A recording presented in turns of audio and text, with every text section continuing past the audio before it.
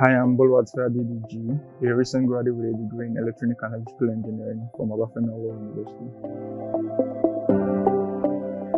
A friend from my school recommended it to me and I signed up. Oh, so far, it's really been very, very insightful. I've had so much to learn right from the Power Platform all the way to even Excel, advanced Excel basically, yeah.